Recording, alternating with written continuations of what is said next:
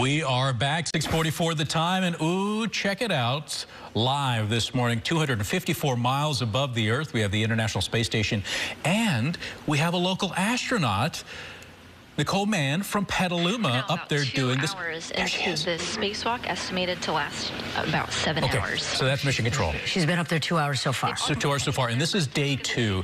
Uh, this spacewalk actually was split up between two different days. A couple weeks ago, she was up there uh, along with uh, Japanese astronaut uh, Koichi Wakata, and they started the installation of some power supply things and, and stuff to put up some new solar panels on the space station. And today they're finishing it up. She's the first African American woman No, in space. No, Native American. I mean, sorry, Native American. Yeah, first Native Native American from Petaluma. From Petaluma, I which is remember when she blasted off. Yep, Remember? on okay. SpaceX's Crew 5 mission. Right. Um, but she's up there.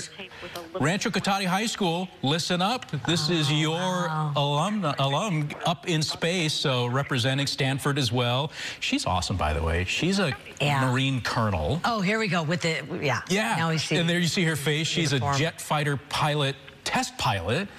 Did two tours in Iraq and Afghanistan, and uh, then was admitted to the to the astronaut program for NASA. Her first time in space. Um, and I don't know if we can go back to the live pictures again. The- so there's the two astronauts. She's the one wearing the spacesuit with red stripes on it. So you'll see one with red stripe, a red stripe somewhere, and the other one's completely plain. I- I- but the shot's so close you can't really see. oh no, just the gloves. Just how fantastic is that? And you can kind of see there's a little bit of sunshine on them right now. Do you know how What do you- the difference between? There's sunshine on oh yeah, yeah. What do you- well, because they're going around the Earth. Okay. And every, now and then they go on the back side of the Earth where it's dark, and then they go on the front side of the Earth where the sun is. And do you know what the temperature difference is between the dark side and the light side of Earth as they go around and around and around? what? A hundred million No, degrees. no, no, no. no.